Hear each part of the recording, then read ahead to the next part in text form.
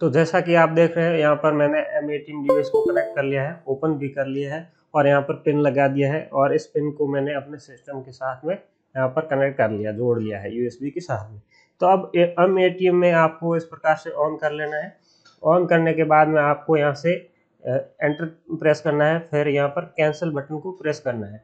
जैसे ये M A cancel button आप प्रेस करोगे तो इसके अंदर इस प्रकार से पॉपअप आ जाएगा। तो आपको यहाँ पर दो नंबर है, वो यहाँ हेलो फ्रेंड्स, नमस्कार, मेरा नाम जसराज और आप देख रहे हैं the soul computer channel friends, आज की इस वीडियो के अंदर मैं आपको एम एटीएम डिवाइस जो हमारी माइक्रो एटीएम डिवाइस है, उसको अपने सिस्टम के अंदर कैसे इंस्टॉल करेंगे, कैसे यूज़ करेंगे, कैसे एम एटीएम डिवाइस का सॉफ्टवेयर इंस्टॉल करेंगे, पूरा प्रोसेस मैं इस वीडियो के अंदर लाइव बताऊँगा। तो इस वीडियो को आप शुरू से लेकर लास्ट तक पूरा ज़रूर देखें।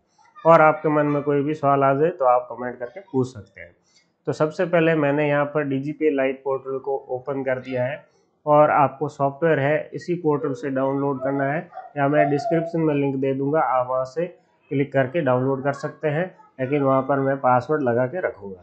तो आप देख सकते हैं डी जी लाइट पोर्टल को ओपन करने के बाद में आप यहाँ पर देख सकते हैं डाउनलोड एमएटीएम ड्राइवर तो आप यहाँ पर क्लिक करोगे तो आपका गूगल क्रोम ब्राउज़र या जो भी आप ब्राउज़र यूज़ करते हो, उस ब्राउज़र के अंदर इस प्रकार से ये सॉफ्टवेयर डाउनलोड हो जाएगा। तो मैंने सॉफ्टवेयर ये डाउनलोड करके रखा है तो मैं यहाँ से इस सॉफ्टवेयर को ओपन कर लेता हूँ। ओपन करने के बाद में इस तरीके से आपके पास में जिप फ़ाइल होगी। इस जिप फ़ाइल पे आप राइट क्लिक करोगे एक्सट्रैक्ट फ़ाइल पे क्लिक कर दोगे ओके कर दोगे। तो आपकी ये जिप फ़ाइल है, ये इस तरीके से एक्सट्रैक्ट हो जाएगी।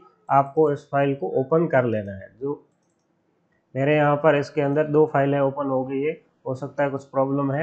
नहीं तो यहाँ पर इस प्रकार से ओपन कर लेना। ओपन करने के बाद में आप यहाँ पर देख सकते हैं ई एल वेब लिखा हुआ है। तो ये ई एल वेब लिखा हुआ है। तो यहाँ पर आपको राइट क्लिक करना है और यहाँ पर रन एस एडमिनिस्टर पर क्लिक कर देना है। जैसे ही आप यहाँ पर क्लिक करोगे तो आपके सामने सॉफ्टवेयर इस प्रकार से इंस्टॉल करने का ऑप्शन आ जाएगा। तो आपको नेक्स्ट कर लेना है यस कर लेना है और नेक्स्ट कर लेना नेक्स्ट कर लेना इंस्टॉल पे क्लिक करना है। तो सिंपल प्रोसेस है, ज़्यादा कोई इसमें लपड़ा है नहीं इंस्टॉल करने में। आप आसानी से इस तरीके से इंस्टॉल कर लोगे। इंस्टॉल करने के बाद में थोड़ा सा आपको यहाँ पर ध्यान रखना है कनेक्ट करने का। तो आप देख सकते हैं यहाँ पर इस प्रकार से आ जाता है। तो आपको यहाँ पर वन क्लिक, इंस्टॉल पे क्लिक करना है।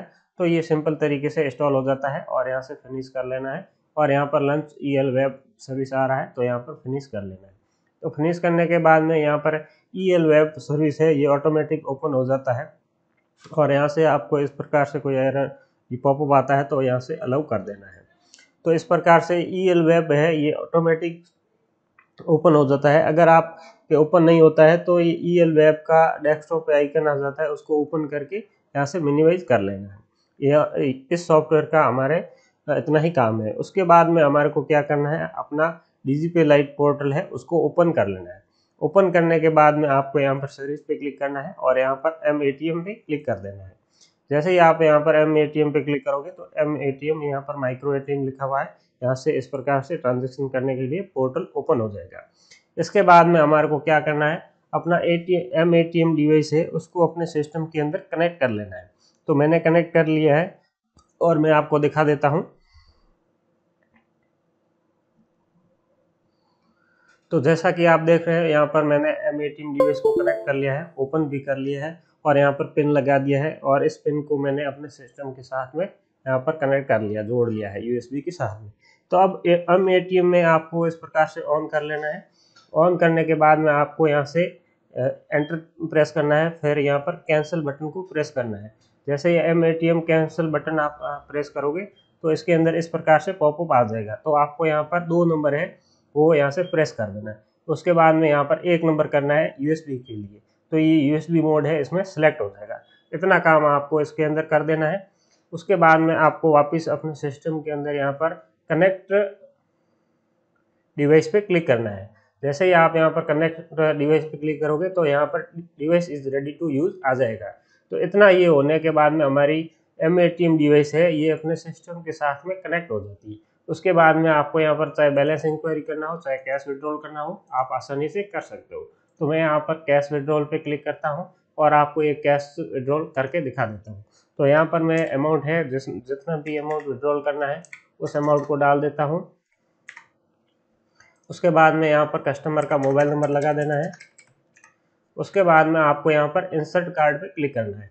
जैसे ही आप यहाँ पर इंसर्ट कार्ड पे क्लिक करोगे यहाँ पर क्लिक करोगे तो आपके M A T M device के अंदर है, वो इस प्रकार से लिखा हुआ आ जाएगा इंसर्ट कार्ड और यहाँ पर ऊपर है डेस्कटॉप में भी इंसर्ट कार्ड लिखा हुआ आ जाएगा तो यहाँ पर हमारे को कार्ड है, वो लगा देना है तो हम यहाँ पर कार्ड को लगा देते हैं। तो मैंने यहाँ पर कार्ड लगा दिया है। कार्ड लगाने के बाद में यहाँ पर पिन मांगेगा तो मैं यहाँ पर पिन लगा देता हूँ। पिन लगाने के बाद में आपको यहाँ से एंटर कर देना है। जैसे ही एंटर करोगे तो यहाँ पर प्रोसेसिंग शुरू हो जाएगी हमारे सिस्टम के अंदर और यहाँ पर प्रोसेसिंग कंप्लीट होते ही कार्ड वापस निकालने को बोलेगा तो अपन यहाँ से कार्ड को निकाल देंगे। जैसे ही निकालेंगे कार्ड को, या ये डिस्कनेक्ट होगा मशीन से कार्ड तो यहाँ पर ऑटोमेटिक है। ऑटोमेटिक यहाँ पर सक्सेसफुली विड्रॉल आ जाएगा और यहाँ पर अमाउंट आ जाएगा और यहाँ पर रिसिप्ट प्रिंट करने का ऑप्शन आ जाएगा, यहाँ पर डाउनलोड करने का ऑप्शन आ जाएगा। तो हम यहाँ से डाउनलोड कर लेते हैं और यहाँ पर हमारे लास्ट बैलेंस शो नहीं करता है तो आपको यहाँ पर प्रिंट पे क्लिक कर देना है। जैसे ही आप प्रिंट पे क्लिक करोगे तो आपके अकाउंट में जितना भी लास्ट बैलेंस होगा, वो यहाँ पर शो कर देगा, वो रिसिप्ट के अंदर शो करेगा और पोर्टल के अंदर यहाँ पर शो नहीं करेगा तो आपको ये ध्यान रखना है। तो इस प्रकार से अगर आपकी डिवाइस कनेक्ट हो जाती है तो कोई भी दिक्कत नहीं, अगर डिवाइस कनेक्ट नहीं होती है तो आपको ई e जो सॉफ्टवेयर आपने इंस्टॉल किया है इसको वापस क्लोज करके ओपन कर लेना है। ओपन करने के बाद में वापस यहाँ से मिनिवाइज कर लेना है। मिनिवाइज करने के बाद में वापस कनेक्ट करना है। तो बहुत ही आसानी से हमारे सिस्टम के अंदर एम ए डिवाइस है, वो कनेक्ट हो जाती है। कनेक्ट होने के बाद में हमारे सिस्टम के अंदर जो ट्रांजेक्शन होता है, वो बहुत ही फास्ट ट्रांजेक्शन हो जाता है और पेमेंट है एंड टू हैंड हमारे पोर्टल के अंदर आ जाता है। तो अगर आपको ये वीडियो पसंद आया है तो इस वीडियो को आप लाइक ज़रूर करें, अपना दोस्तों को शेयर ज़रूर करें और आपके मन में कोई भी सवाल है तो कमेंट करके पूछ सकते हैं। अगर आपके डीजी पे लाइट पोर्टल के अंदर यहाँ पर एमएटीएम का इस प्रकार से ऑप्शन नहीं आ रहा है। तो जो हमारे ये डीजी पे लाइट के अंदर जो टोल फ्री नंबर आते हैं कस्टमर केयर के, जब अपन इसको ओपन करते हैं तो उस नंबर पे कॉल करना है और कॉल करके यहाँ से एमएटीएम को एक्टिवेट करवा देना है।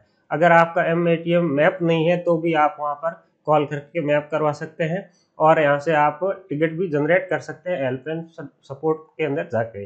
पहले आपको टिकट जनरेट कर देना है। टिकट जनरेट करने के बाद में कॉल कर देना है। जैसे ही आप कॉल करोगे तो वहाँ से कस्टमर केयर द्वारा आपका डिजी पे के अंदर ये, जो माइक्रो एटीएम है, उसको मैप कर दिया जाएगा।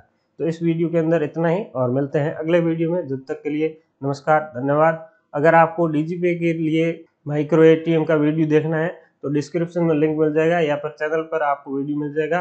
मैंने उसके लिए पहले ही ऑलरेडी वीडियो बना कर रखा है। कि कैसे डीजीपी के अंदर माइक्रो एटीएम का सॉफ्टवेयर इंस्टॉल करना है और कैसे कनेक्ट करना है और कैसे ट्रांजेक्शन करना है।